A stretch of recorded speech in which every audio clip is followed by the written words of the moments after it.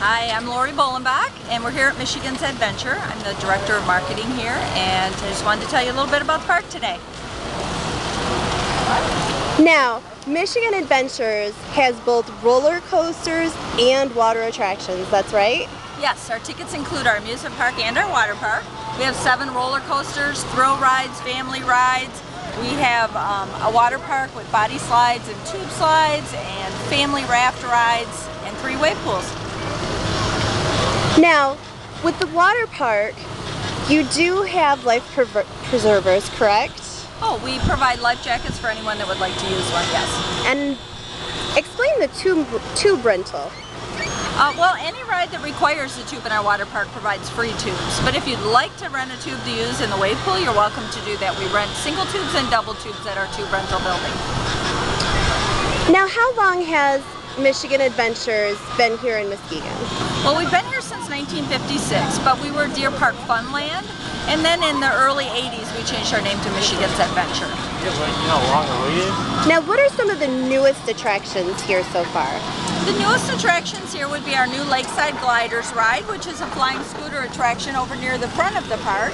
And then um, just in the last five or six years, we've added the Thunderhawk over here on the other side of the lake, the Funnel of Fear that's down the walkway here. So several different rides have been added. Grand Rapids is in the back corner, that's a river raft ride. Now, this is owned by Cedar Fair. What are some of the other theme parks that Cedar Fair owns? Cedar Fair owns parks in California's Knott's Berry Farm, um, Canada's Wonderland. We own um, Worlds of Fun, Dorney Park, Carowinds, Kings Island, Kings Dominion. So um, a whole bunch of parks throughout the country. And that includes Cedar Point as well. Cedar Point, Valleyfair, which is where the name Cedar Fair came from. Nice. Now, behind us, we have swan boat rides. We do. The swan boats are here. You can see the Ripcord ride, Adventure Falls, our catering area, and then over to the right is Thunderhawk and the Wolverine Wildcat.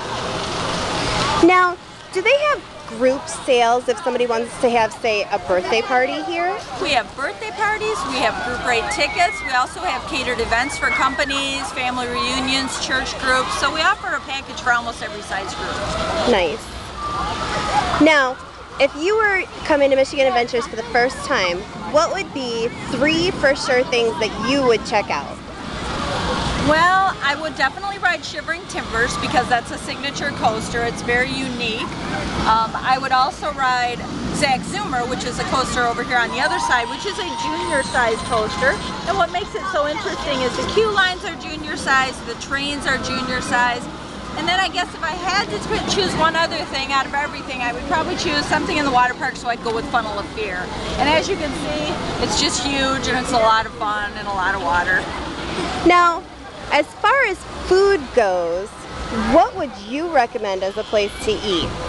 My favorite place to eat here is Coasters. It's our 50s diner. They serve hamburgers and shakes and malts and french fries, so it's very much themed in the 50s style.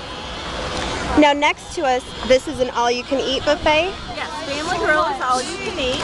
Um, they serve hamburgers, hot dogs, bratwurst, mini corn dogs, chicken nuggets, so a whole variety of things. It's a great picnic style area. And they're open every day for almost the entire day, so you can choose the time, go up there and eat till you're full. And the price is actually pretty decent on It that is. too. I believe it's about $10.29 for adults and five $4.99, $5.99 for children, three to six. So it's a great deal. yeah, then that's soft definitely are- not going to break the wallet Yeah, and either. your soft drinks are included also with that price. Great. Now, as we wrap this up, what are some of the things that people can look forward to coming up? Do we have anything in the works for next year, for example? Well, we always have things in the works, but until they're officially announced, we can't talk about them. But um, as always, we'll continue to offer seasons passes, which I think as the park continues to grow is a great benefit for people. Um, we offer specials to our season pass holders. And then hopefully, I would say, you know, look for some expansions maybe in our water park. Um, everyone asks us to put in a big steel coaster. I can't tell you if or when that'll happen, but there's always something new. Like I said, this year it was the lakeside area over here with the new gliders in it. Now, one last question. Here they do not have the HalloWeekends, right? We do not. We close our water park on Labor Day and then our amusement park is open for just one weekend after that. But your sister park does, right? Our Cedar sister Point? parks have Halloween events, yes. Nice. So for those catching us late in the season, they can still hop over to one of the Right. Cedar And what's parks. great is if you had that season pass we were talking about, if you buy the platinum version, you can visit our park and Cedar Point, and it does run all the way through the Hall- Halloween weekends over there. Very nice. All right, Lori. Well, thank you so much for telling us everything. Is there anything else we should add in? No, you should just come and visit us. It's going to be a great summer. August is a good time for us, so come down and visit. All right. Thanks so much, Lori.